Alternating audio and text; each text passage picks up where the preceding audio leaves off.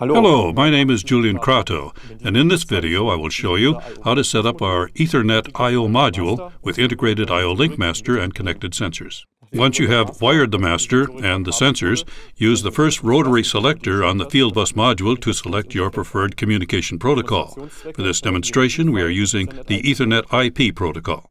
The three rotary selectors represent the last octet of the IP address. Via the first rotary selector, you determine the hundreds digit, via the second the tens, and via the third selector, you determine the units digit. The first three octets of the IP address are set to 192.168.1 by default. For the last octet, we will set 1, 2, 3 as an example. To do this, we will turn the first selector to the first mark, the second to the second, and the third rotary selector to the third mark. Then, a power reset is necessary in order to save the IP settings. After doing this, the module's IP address is now 192.168.1.123. Now you can configure the Ethernet settings of your network adapter accordingly to ensure communication between the laptop and the module.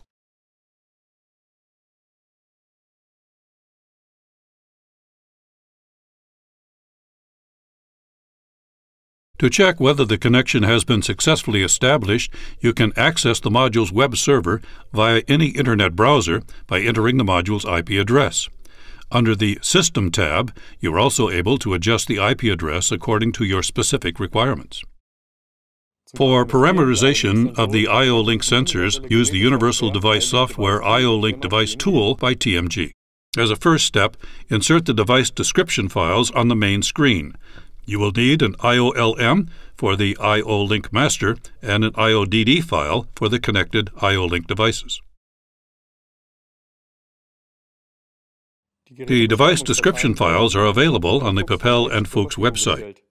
Next, search the network for all available Fieldbus modules and add the desired module to your project with a double click.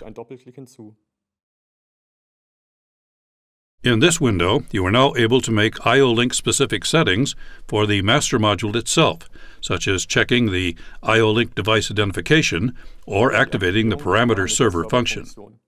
Then, assign a function to every single port of the Fieldbus module based on its actual assignment.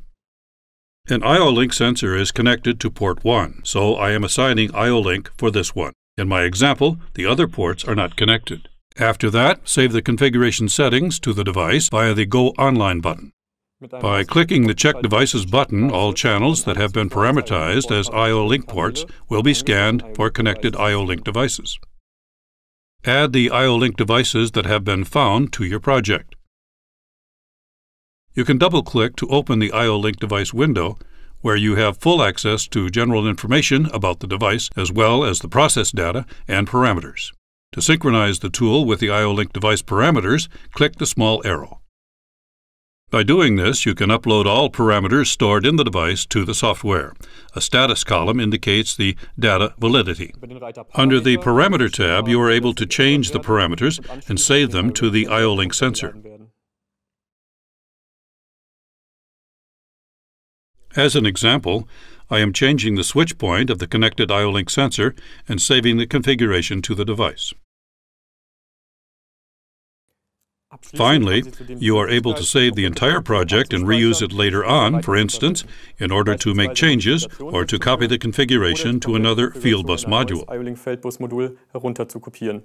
More information on our IO-Link Fieldbus module is available on the Pepperl and Fuchs website. Thank you for watching, and until next time.